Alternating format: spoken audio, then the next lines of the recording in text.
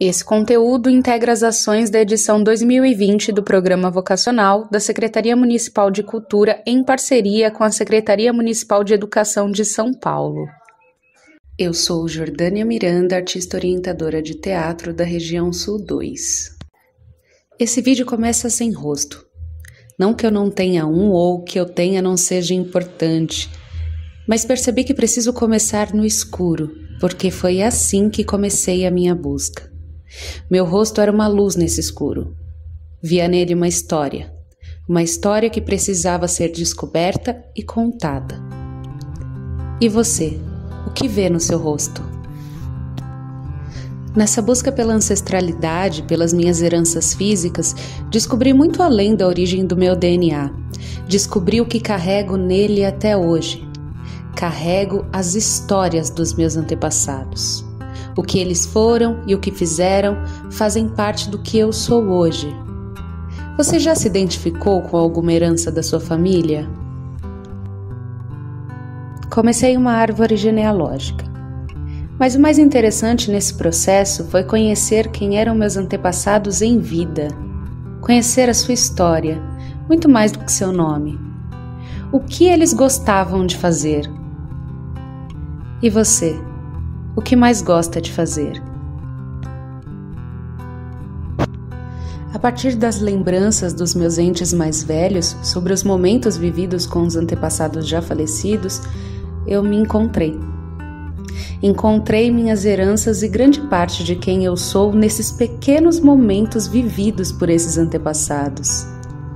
E você? Já se reconheceu em alguma história de um antepassado? Vamos fazer um corte na nossa árvore. Vamos em busca das histórias, hobbies, desejos, anseios, pensamentos, obras, enfim, uma árvore constituída de história das lembranças de quem viveu com os nossos antepassados. Aqui na descrição desse vídeo você vai encontrar um documento intitulado Para Criar Álbum de Histórias da Minha Família.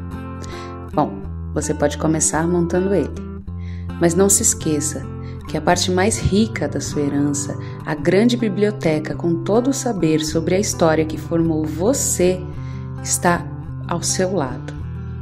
Tudo o que você precisa fazer para entrar nessa biblioteca é perguntar a um ente querido: o que você se lembra? Gente da casa não é de uma mão. O que é? O amor dela tá...